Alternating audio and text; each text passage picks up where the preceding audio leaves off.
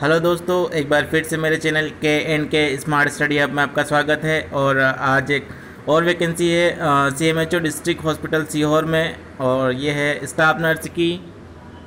Staff nurse की है, pharmacist की है, लैब टेक्नीशियन की है, आयुष डॉक्टर्स की है और जो M B B S doctor है, उनकी भी वैकेंसीज हैं। तो ये जो वैकेंसी निकली है, इनमें आप अप्लाई कर सकते हैं और ये जो वैकेंसी है, इसमें आप अप्लाई करने के लिए व्हाट्सअप नंबर से भी इसमें केवल नो एग्ज़ाम होगी, इसमें केवल इंटरव्यू होगा और ये जो कोविड नाइन्टीन है, ये उसके लिए लिए जा रहा है दोस्तों।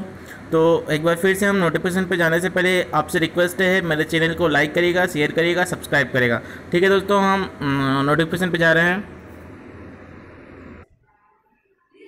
तो देख सकते हैं दोस्तों, हम ये नोटिफिकेशन पे आ गए हैं और ये कार्यालय मुख्य चिकित्सा एवं स्वास्थ्य अधिकारी जिला सीहोर।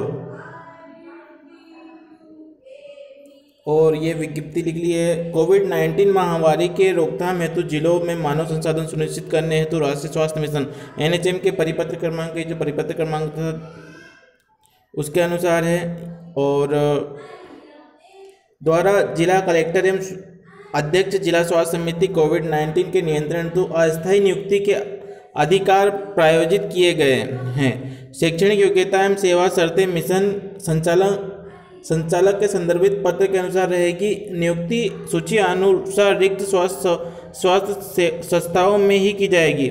नियुक्तियों हेतु साक्षात्कार प्रत्येक बुधवार पद पूर्ति तक को आयोजित किया जाएगा। मतलब जो ये इंटरव्यू होगा दोस्तों, ये साक्षात्कार होगा, ये प्रत्येक बुधवार को होगा और ये तब तक लिया जाएगा जब तक पद पूर्ति नहीं होती।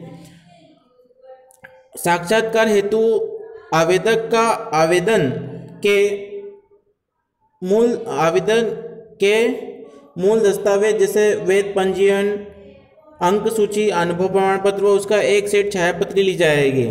साक्षात्कार के समय उम्मीदवार को मूल दस्तावेज़ जो M D M S M B B S M C I I N I का वेद, पंजीयन, अर्हताकारी परीक्षा जैसे कि M S C B S C diploma, nursing की अंक सूची, जाति जाति प्रमाण पत्र आदि तथा इनकी दो छाया प्रति साथ में उपस्थित होंगे। मतलब जो भी आपके डॉक्यूमेंट है, इनकी फ़ोटो कॉपी आपको लेके जाना जाना पड़ेगा।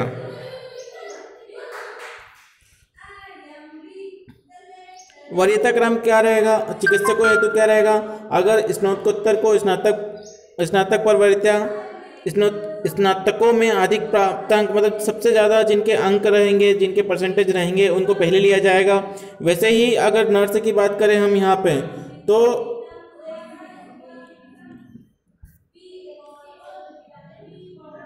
नर्स में क्या रहेगा कि जो नर्स रहेगा, अगर एमएससी वाला कोई आता है तो सबसे पहले एमएससी वालों को प्राथमिकता दी जाएगी, उसके बाद बीएससी वालों को प्राथमिकता दी जाएगी, और उसके बाद जीएनएम को प्राथमिकता दी जाएगी, उसके, अगर उसमें फिर जिनके प्राप्तांक अधिक होंगे, उनको प्राथमिकता दी जाएगी। वैसे ही फार्मासिस्ट का है दोस्तों फार्मासिस्ट में यही रहेगा कि उनके पास फार्मेसी का डिप्लोमा होना चाहिए बी फार्मा एम फार्मा होना चाहिए लेब टेक्नीशियन में भी दो साल का M L T C M L T D M L T होना चाहिए।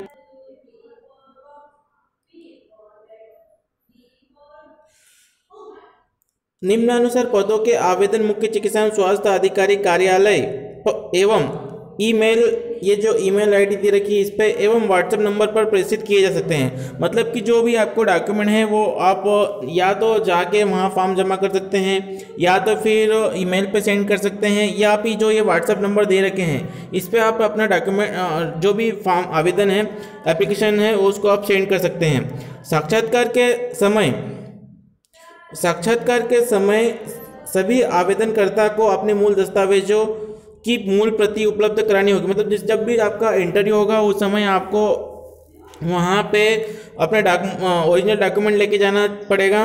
साक्षात्कार हेतु आवेदकों को दूरभाष के माध्यम से मतलब जिनको इंटरव्यू के लिए बुलाया जाएगा, उनको फ़ोन लगा के वो बताएँगे कि आपको इंटरव्यू पे आना है, तब आना है।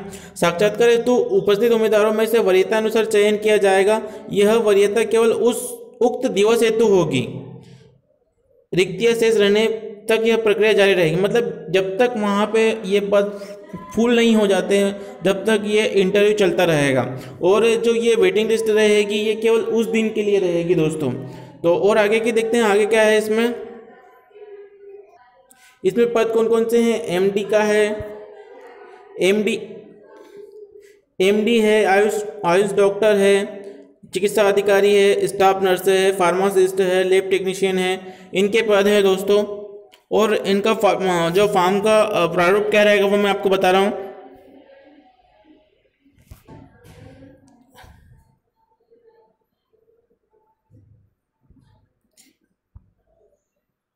इसको अच्छे से पढ़ ले तीस जून तक लिया जाएगा इसमें, और ये फार्म का प्रारूप है। आप इस फॉर्म को आप M P N H M की जो साइट है, वहाँ से डाउनलोड कर सकते हैं और इसको फिल करके, स्कैन करके, आप या तो जाके वहाँ पे डायरेक्ट जाके फॉर्म दे सकते हैं, या तो फिर आप इसको ईमेल कर सकते हैं, या तो फिर इसको व्हाट्सअप भी कर सकते हैं दोस्तों। ईमेल आईडी ये रहा और व्हाट्सएप नंबर ये रहे।